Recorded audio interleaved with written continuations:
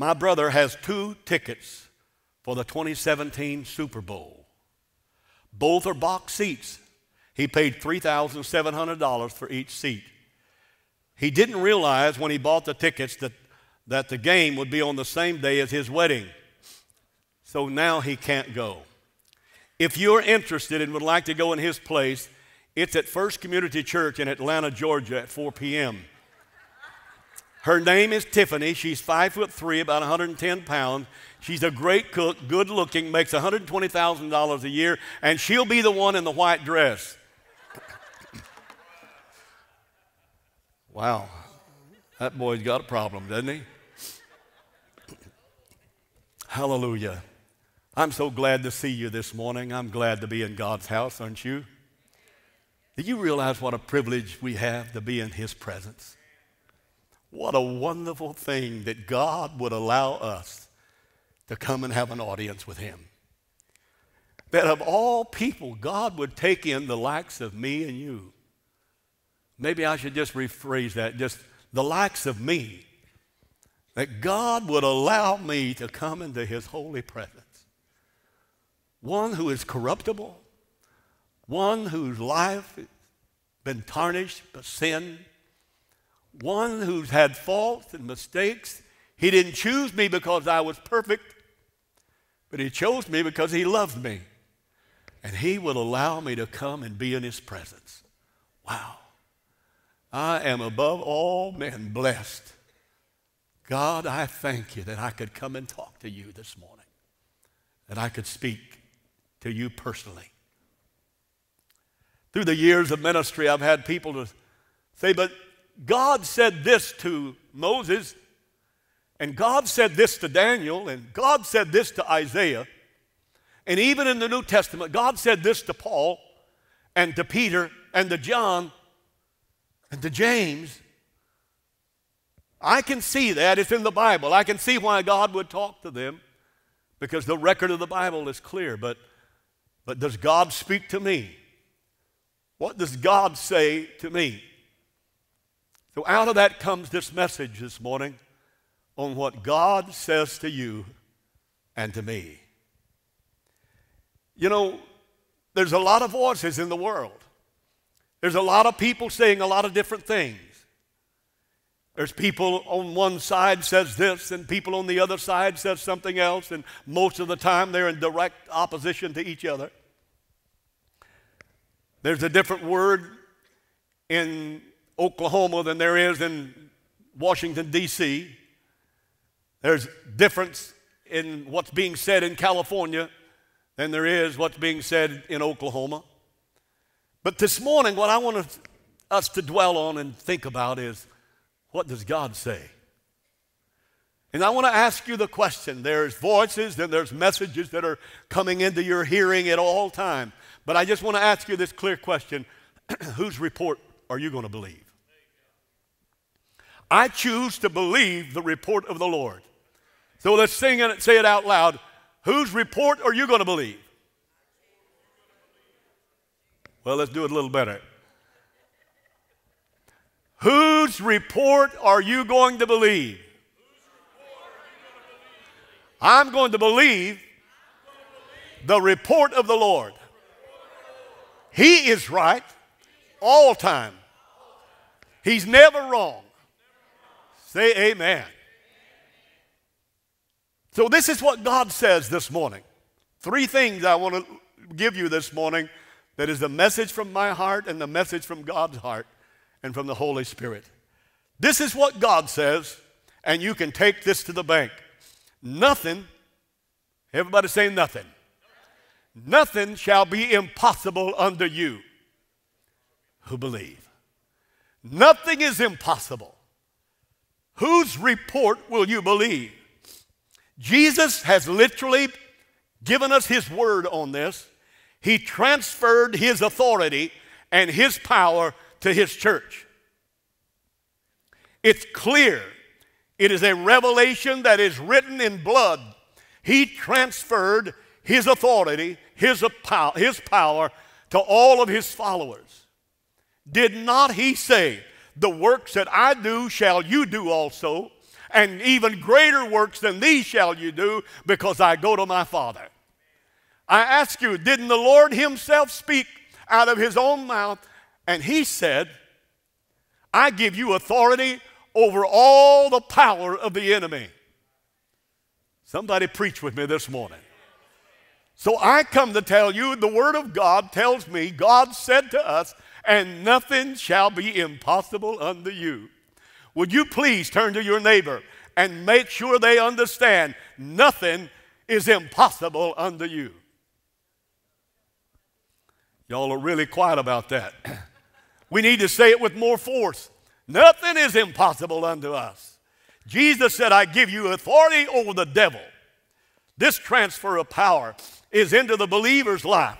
It covers over our physical body, over our spiritual life, over our mental ability, over everything that involves our human life. Jesus Christ has given us power over unclean spirits, power over sickness. He's given us authority to live our life victorious while we're walking on this planet Earth. You are somebody this morning. Don't let the devil trick you in telling you you have no power or authority or right. You have been redeemed from the curse of the law. The blood of Jesus has washed you clean and pure. The blood of Jesus has assigned to you a new name and written down in glory. God has given you a hope and a blessing in your life. You are a new creature in Christ Jesus, my Lord. Praise God. Old things are passed away. Behold, all things have become new. I just want to tell you, you've been renewed. You've been recreated. You've been changed by the power of God's love. We're not just the average status quo. I want you to know you are somebody. You are the elect of God. You are the chosen generation, a royal priesthood. You are somebody in God. God says nothing is impossible unto you. Could I just ask you, are we going to believe that or not? Whose report will we believe? Jesus said, In my name, you can cast out devils. I need an amen group, please. In my name, you will lay hands on the sick and they will recover. I appreciate Jamie, my son in law, going to preach tonight, and he's got a prayer line coming up. He's going to pray for the sick, going to pray for deliverance. He's going to pray for healing. Come on, God's in this house to do business. God set up business here. Glory to God. And He still performs miracles.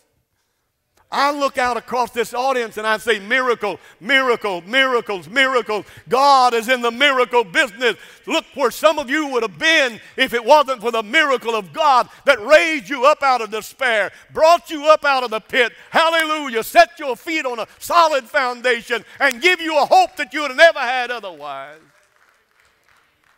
Jesus said, In my name, you'll lay hand on the sick and they'll recover. In my name you will preach this gospel to the ends of the earth. He that believeth is baptized, and he that believeth not is condemned. Come on. He said, The blind will see, the deaf will hear, the lame will walk. Miracles will happen as you walk in faith and obedience. The scripture said his disciples went everywhere preaching the gospel of the kingdom. Praise God, and signs followed them everywhere they went. God said, Nothing will be impossible unto you. Come on, nothing shall be impossible. What we've done is we've settled down in the, in the American church and we've just kind of accepted whatever comes our direction, our way. But I want to tell you, this gospel still works. This kingdom is still going on. This Jesus is still in operation. Do I hear it? Amen. God is still at work. Nothing shall be impossible unto you. God says this if you can believe, all things are possible to you. Don't give up on your dreams. God has bigger plans for you than you have for yourself. Hallelujah. What looks impossible to men is just an opportunity for God to show His majesty. What looks impossible to others, God can bring a miracle out of it. Man doesn't have the final say, God does.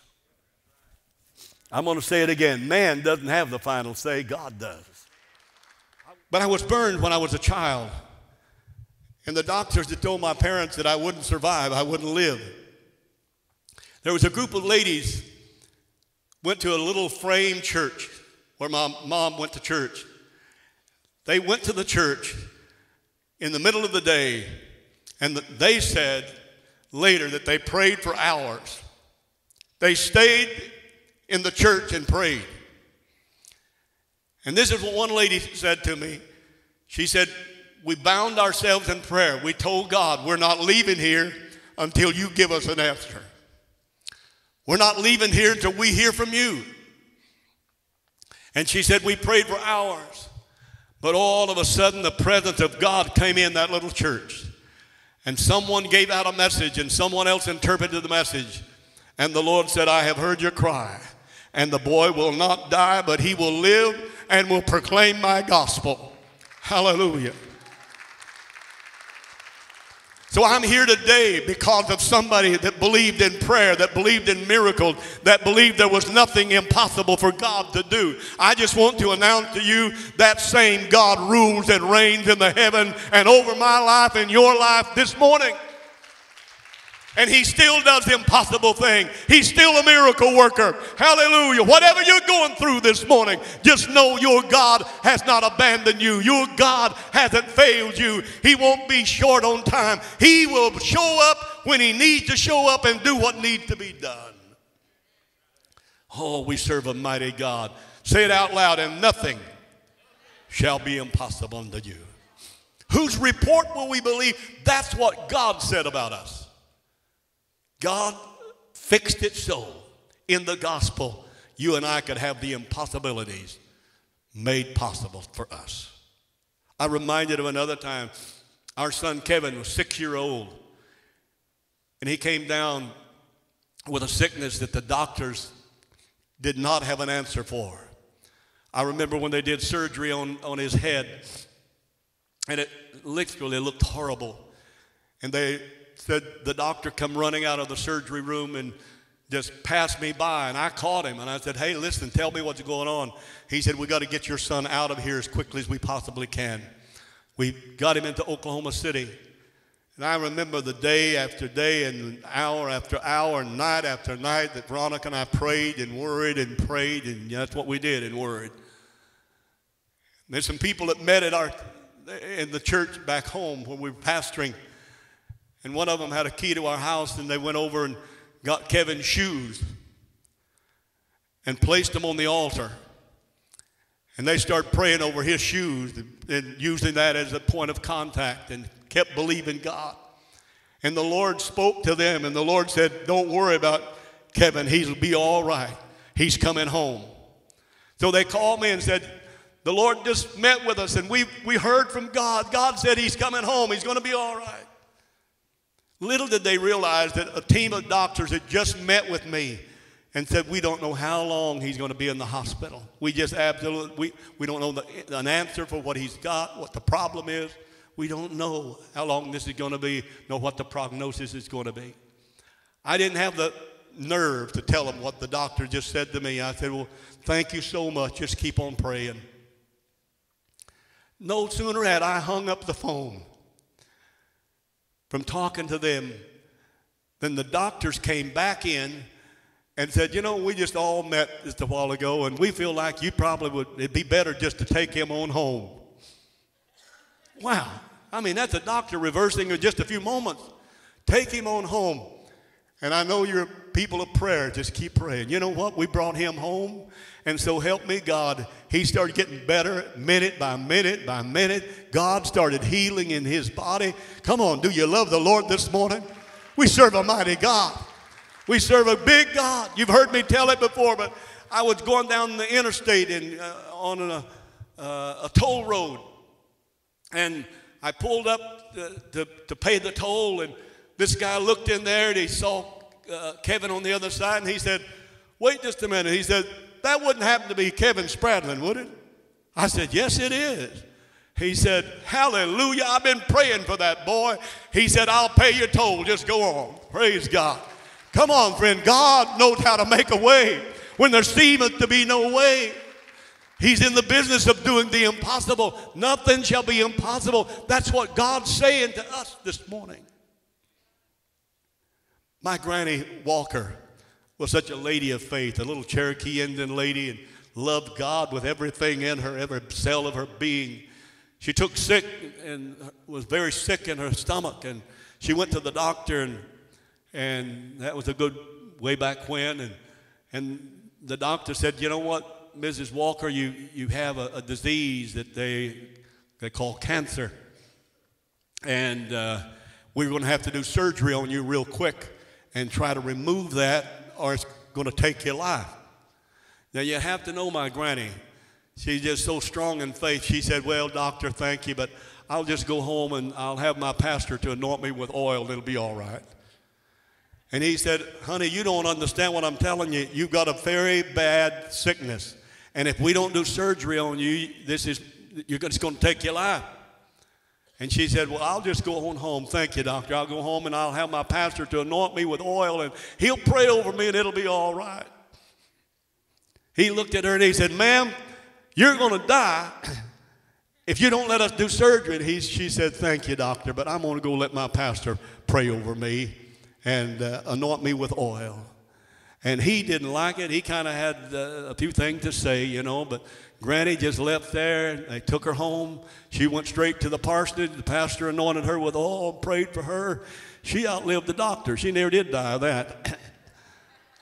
she lived to be 87 year old, and nothing shall be impossible unto you if you believe. God said, I've sent my word to heal you. Nothing shall be impossible. How many, how many really wants to know what God said to us?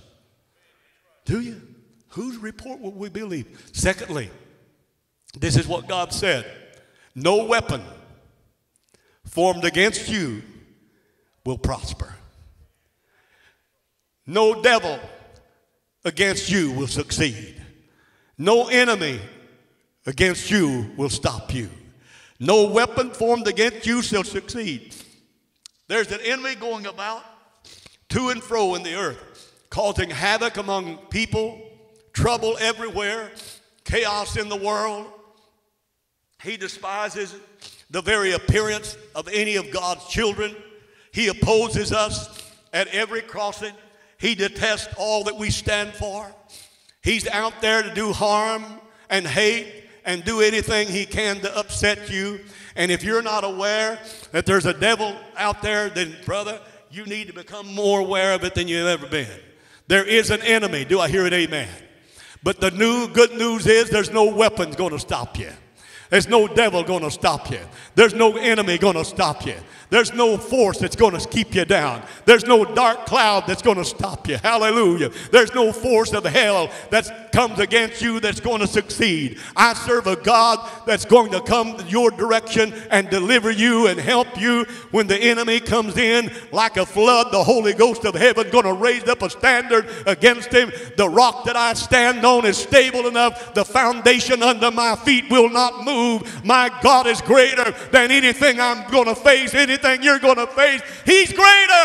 He's greater. No weapon formed against you will succeed. No enemy will get you down. No trouble will bind you. Hallelujah. We serve a healing God, a helping God, a hopeful God, a powerful God, a God of healing, deliverance. Praise God. Give him praise in this house. Oh, hallelujah, hallelujah. He's my God. He's your God. Oh, thank you, God. Thank you, God. In case you're not aware of it, listen to this. The past 12 months, 90,000 Christians were killed in the last 12 months. There's an enemy out there. If you didn't know it, Christians are now um, among the most persecuted group in the world. Let me tell you a real shocker. Even in America, it is now reported that Christians are in the top group of people persecuted in America today. There's an enemy out there. There's an enemy out there.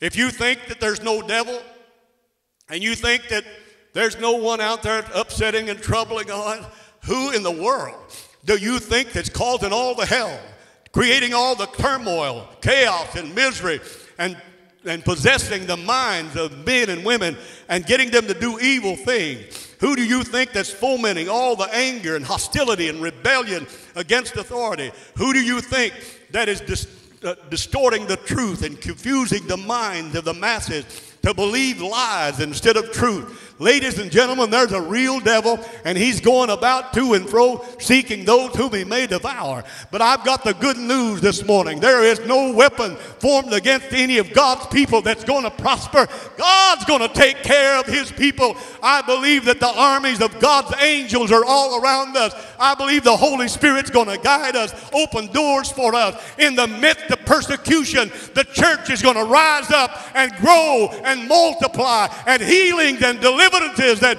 many are going to be brought to the kingdom through this time. It's the devil and it's the Lucifer himself that is trying to deceive and cause turmoil and trouble. But God said, have what I say, God said, no weapon, no weapon formed against you will succeed. It won't prosper. Hallelujah. The Lord is my shield, the Bible said. He is my buckler, the Bible said. He's my high tower. He's my provider. He's given to me the whole armor of God. He will deflect the arrows of the enemy. He will keep me safe at all times the stones that they hurl at me, the arrows thrown against me. The Lord is my shelter. The Lord is my defense. The Lord is my strength. The Lord is my deliverer. God will make a way for me even when there seems to be no way. Say amen. And David said it like this A thousand may fall to my right, left side, and 10,000 to my right side. But the Lord will preserve me my going in and my coming out. He said, I'll give angels charge over you to keep you. He that dwelleth in the secret place of the Most High shall abide under the shadow of the Almighty. I will say of the Lord, He is my refuge and my fortress, my God in whom I will trust. Oh, ladies and gentlemen, no weapon formed against you will succeed. This great fight between good and evil in the earth. Sometimes we Christians get burdened down and confused and battle weary because we lose focus on who's in the battle with us. The captain of our salvation has never lost a battle yet. But just in case you're weary this morning and you've forgotten about all of this, I want to remind you we win we win. Just in case you've forgotten, the devil loses. Woo, hallelujah. I'm about to have a runaway. I just thought of this. He kicked him out of heaven, and very soon he's going to kick him into hell. Come on. I know who wins this battle. I know who my Redeemer is. I know He lives, He rules, He reigns. He's seated on the throne of God forever and ever, world without end. He rules in the heaven. He rules upon planet earth. No weapon formed against his church will succeed. God will raise up a great army to defend us and take care of us. No weapon. Thirdly, God says, you, you, you, you, every one of you are blessed child of God. He says that you are an overcomer, that you are victorious champions of the kingdom that'll never end. I ask you today, whose report will you believe? The Bible calls us children of promise, heirs of God, and joint heirs with Jesus Christ. He says that we are more than a conqueror through Jesus Christ that loves us. He says that we are literally created in his image, in his likeness, to be like him because we belong to him. He says that neither depth nor height, nor angels, nor principalities, things present nor things to come, Nothing shall be able to separate me from the love of God which is in Christ Jesus, my Lord. Hallelujah. I am a child of the living God.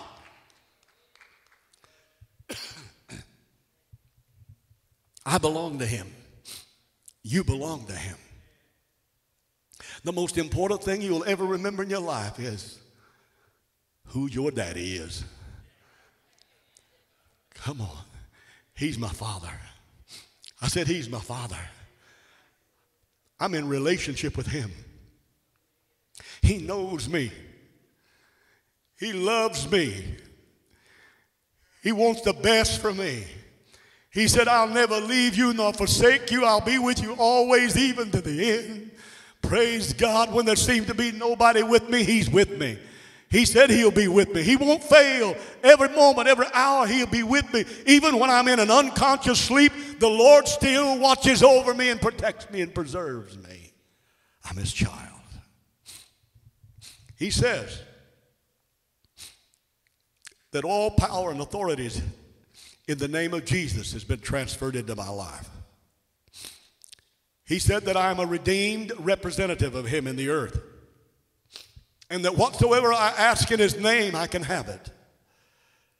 He says that Satan is under my feet. Hallelujah. And that I have the power to bind him at any moment and any time.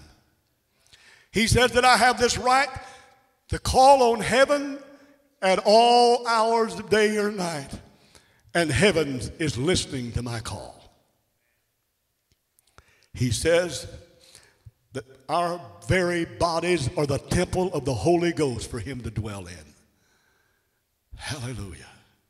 He says that I am justified, I am sanctified, and I am soon to be glorified with Him. He says that this earthly tabernacle is the sanctuary for him to live in, for his heavenly glorious presence to stay in my life. He loves me. I'm his child. Say amen. Would you stand with me, please? Oh, glory to God. There's more. I'm just running out of time here. We are a victorious church. You are a victorious child of God. No weapon formed against you will succeed. You've been given authority in Jesus' name to live your life in victory as a conqueror. Nothing is impossible for you. Your trial is just an opportunity for God to show Himself mighty in your behalf. You are blessed. You are a miracle. You are an overcomer. God's angel of armies surrounding you. And nothing has the power to separate you from the love of God. Would you lift your hand to Him? Lord, thank you for what you've said to us. Thank you for the word that are spoken. And every word that you speak is truth. Not one word that you speak, Lord, will not be truth. Every word we can take and know that it is solid and we can depend on it. Lord, thank you for talking to us. Thank you for speaking to us. And I pray that all the people will realize this is not just the pastor speaking, but this is your word speaking to us. This is the eternal word of God that will never be changed. You are for us, you are with us, you are in us and you always will be. Thank you, God. Thank you, God. Thank you so much for watching this video. And I want to do this for you today. I want you to join me and just say the, the prayer of the sinner. And I hope that you will let Jesus Christ come into your heart and change your life. God's got a good plan for your life. All you need to do is invite him in. And the Bible said he'll come in and live inside of you. So pray this prayer Lord Jesus, come into my heart. I recognize that I am a sinner, that God loves me, and that God wants to save me. So I repent of my sins. I believe that Jesus Christ is the Son of God and has come to save me. I accept him right now as my Savior and my Lord in Jesus' name. And I thank you, God, for saving my life. Amen. God bless you, my friend, and may the Lord bless you and keep you always in his love.